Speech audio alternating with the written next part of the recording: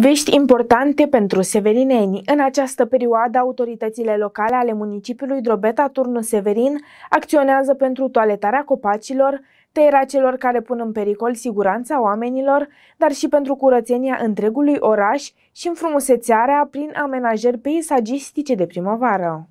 Da, suntem la toaletarea pomilor ornamental, dar și a pomilor, să zicem așa, mai, mai bătrâni. Da. da. E temperatura foarte bună, ne permite să facem treaba asta. Da. Dacă ne lasă așa, putem în primăvară să nu mai creăm probleme pentru... Intrăm și pe alimentele de străzi? Și pe străzi intrăm, da. da.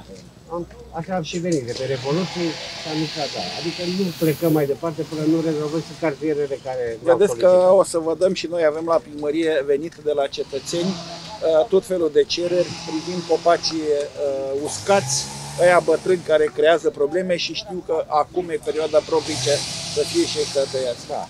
Uh, o să vreau să țineți, să țineți cont și de ce vă spun oamenii, atât președinții de asociație, da, dacă vin uh, cereri de la cetățeni și ele se și verifică, uh, să țineți cont și de lucrul ăsta. S-a dat startul campaniei de curățare a zonelor verzi și arborilor. Primarul municipiului Drobeta Turnu Severin intervine la dorințele severinenilor. Tăierea copacilor se face la solicitarea Asociației de Locatarși și în urma consultării cetățenilor din zona respectivă. Lucrări specifice trecerii de la iarnă către primăvară, în general uh, tăieri de arbori, de uh, ramuri, toaletare, acolo unde e cazul, dar pe lângă faptul că există un program al primăriei uh, agreat cu uh, concesionarul spațiilor verzi, venim și în întâmpinarea cererilor uh, de la președinții de asociații, de la administratorii de bloc și chiar de și de la cetățeni. Acolo unde uh, este necesar să tăiem uh, copaci, arbuști uscați, cei care periclitează sub o formă sau alta siguranța cetățenilor, a, chiar a blocului, a mașinilor, venim și îi sprijinim.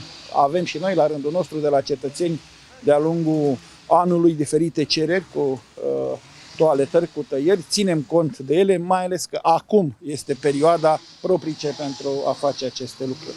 Pe de altă parte și prin intermediul dumneavoastră îi rugăm pe cetățeni, pe cei care uh, au ceva de uh, tăiat, de toaletat, să ne uh, facă o cerere, să ne caute, să ne solicite pentru că putem să-i sprijinim în această perioadă. Administratorii asociațiilor de locatari spun că sunt mulțumiți de faptul că primăria municipiului Drobeta Turnu Severin răspunde la toate solicitările acestora, iar curățenia de primăvară este nelipsită în fiecare an. În urmă cu câțiva ani am făcut solicitare la primăria Drobeta Turnu Severin pentru toaletarea și tăierea pomilor care reprezintă pericol și de atunci în fiecare primăvară și toamnă uh, concesionarul primăriei pentru spațiile verzi a venit de fiecare dată și a toaletat și tăiat pomii plus spațiu verde s-au îngrijit și fără probleme.